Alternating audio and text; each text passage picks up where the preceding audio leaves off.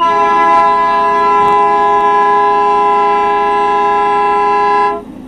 just hit me. Leave, guy just ran into me leaving the Petro. Nope. Took out my bumper, my hood,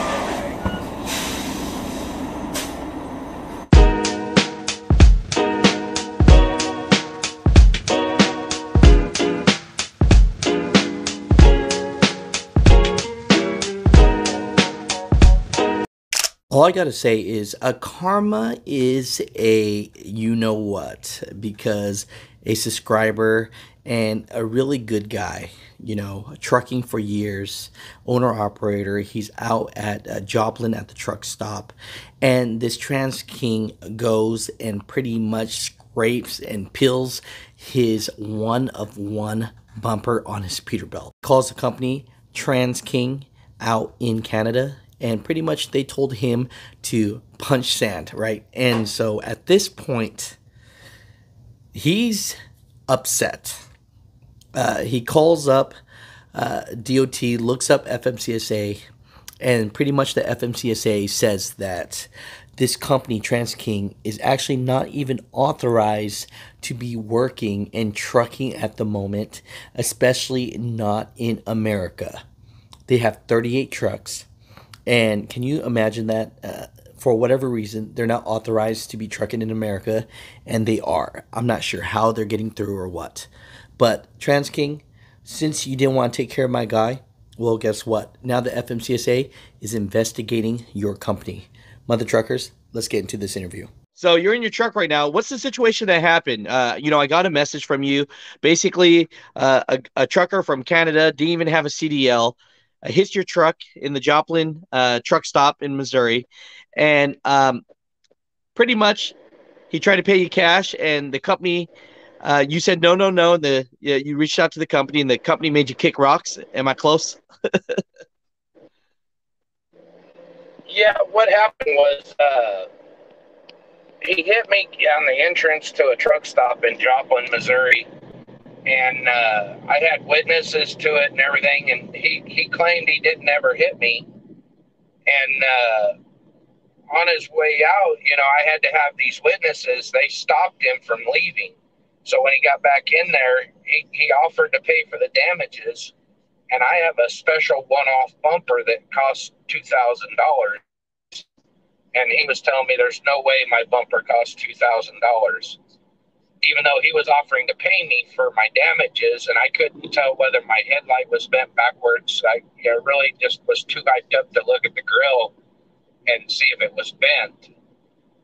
Uh, the sheriff department, they, the truck stop I was at pays the sheriff department to patrol it he came up and, and asked the driver for his ID and, and, and stuff, and the driver did not even have a driver's license.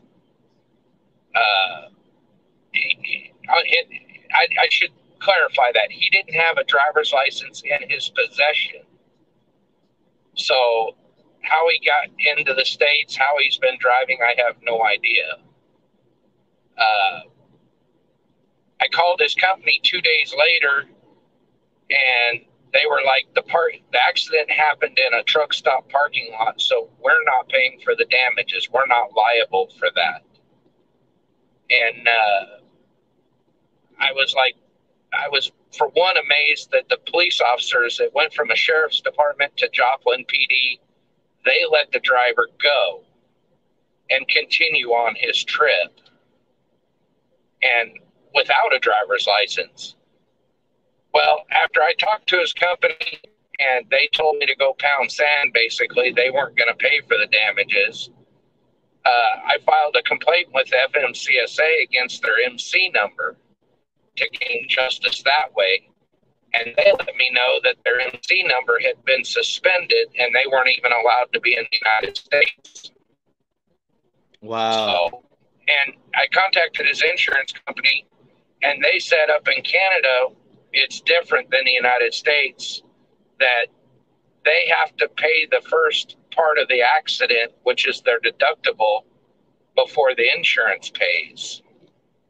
and they, the insurance company has to send them notification that a claim has been filed and how do they want to handle it so needless to say here regardless if the trucking company doesn't want to pay it the insurance company won't pay it because my total damages was under their their deductible so there's no way for me to gain reimbursement you know that's crazy so you know, the best that we could get them with is pretty much put them on blast, Gary, that uh, their company should be suspended because on the FMCSA site it shows that they should not be uh, uh, moving around and uh, uh, trucking right now. Yes, exactly. They're not even supposed to be allowed to be in the United States.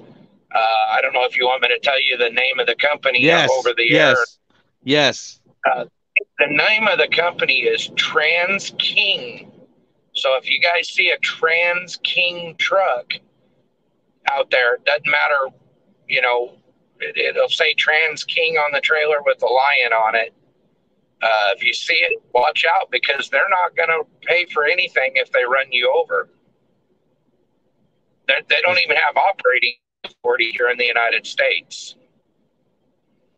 That's craziness. That's that's craziness. So, Trans King, the fact that you did not want to help my guy Gary out and do the right thing, uh, the world now knows that if they see a Trans King truck with the lion on it, out of what Ontario, uh, Ontario, Canada, Brampton, Ontario, Canada.